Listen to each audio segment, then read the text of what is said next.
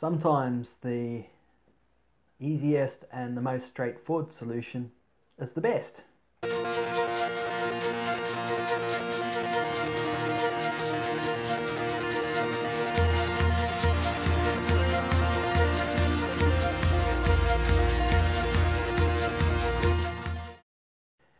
Welcome to Mobile Application Tutorials. My name's Nigel. Right, in the last tutorial we had successfully captured a image and saved it to a file. But our application has a image gallery running along the top, a horizontal image gallery. And that wasn't being refreshed. That's image gallery is actually based on a recycler view. So basically we hadn't yet swapped the adapter and it wasn't such a straightforward um, it wasn't so straightforward just to swap the adapter in in the callback as such because we're running in the wrong thread. That was the background thread. Let me explain what I mean here. So ideally in this callback here, we'd want to swap the adapter.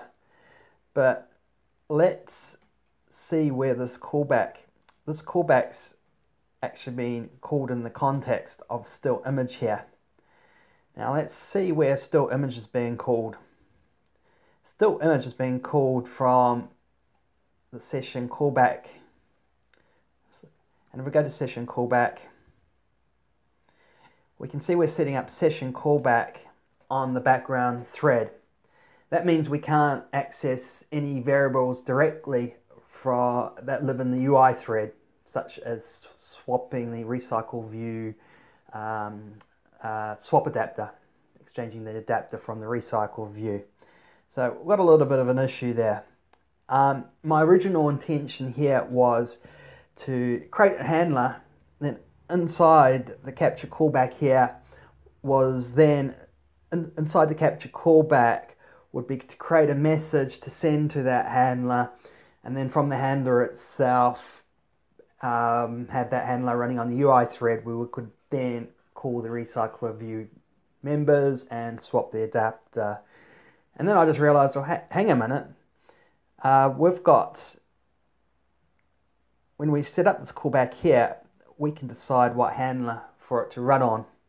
So instead of having it running on null, which is actually the background um, handler thread, we can actually have it running back to the UI thread and then we can swap the recycle view uh, adapter. So that's what I'm going to do. The first thing I'm going to do is I'm going to create a handler um, that lives on the UI thread.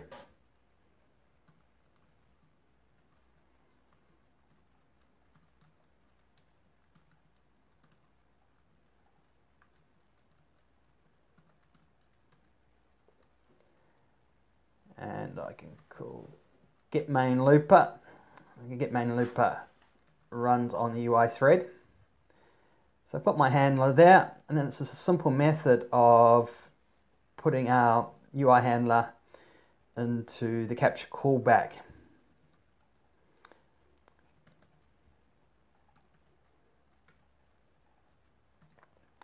So now when this capture callback runs, it's going to run in the context of the UI thread, and I can just directly call um, swap adapter in the recycle view.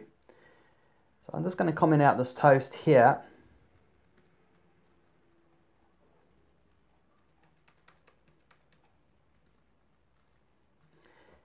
And I'm going to actually make a new method here.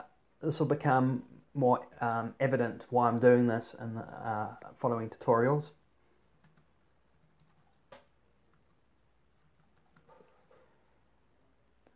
Let's just close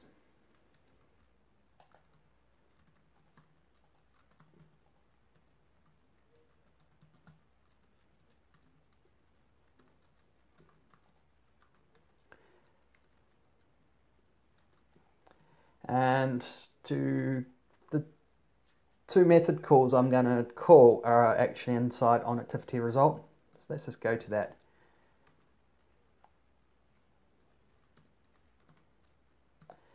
So I just need to paste these two and put them into our method.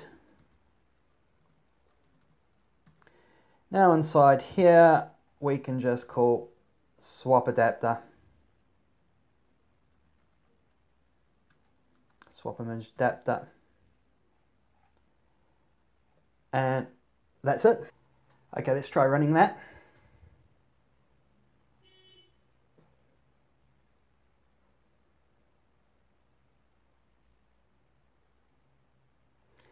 Let me record what's happening on the screen. Okay, let's take a photo of this Wi-Fi router. So